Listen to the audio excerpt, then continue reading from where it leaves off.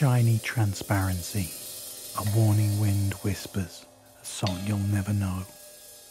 Autumn leaves in swirling streams, poetry sails towards the unpredictable, creating new waterways. Fear, fearless, anger, despair. Social distancing, illegal gathering, contact tracing, intensive care public depression, culture in crisis, culture in doubt, culture in hope. Verses seem to be infinite, a global pulse. Remarkable, the art, the music, the song remains as beautiful as before.